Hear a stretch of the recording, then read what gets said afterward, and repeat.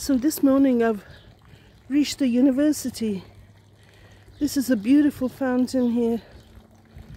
Beautiful, I love it. And this is the uh, university uh, grounds, let's say, you know, the campus. But there is a there's a, a important building here, which is the library that I was looking for, and and that turns out to be the Rolex library.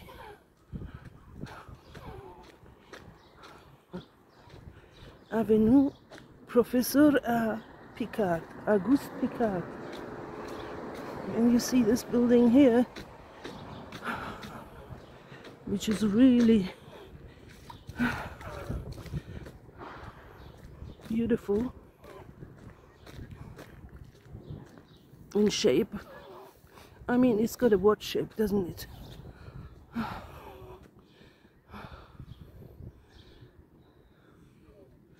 Oh, and I met a nice student who was from India and he was studying quantum physics. Amazing.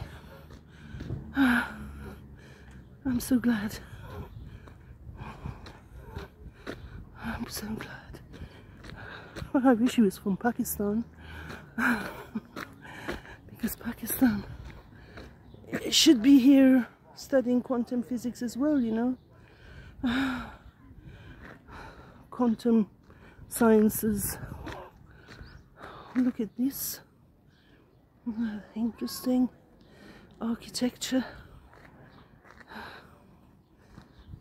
Rolex Learning Center. This is uh, the various things, information.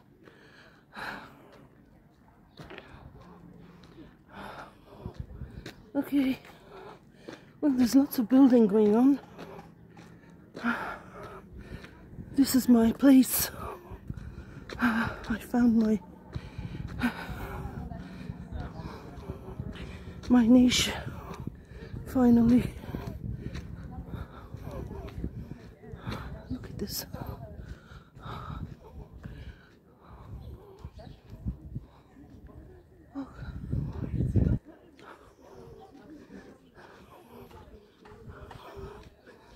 Here's the entrance. Rolex Learning Center. Rolex did well. It's made so much money. Great. You know, out of ingenuity. Wonderful.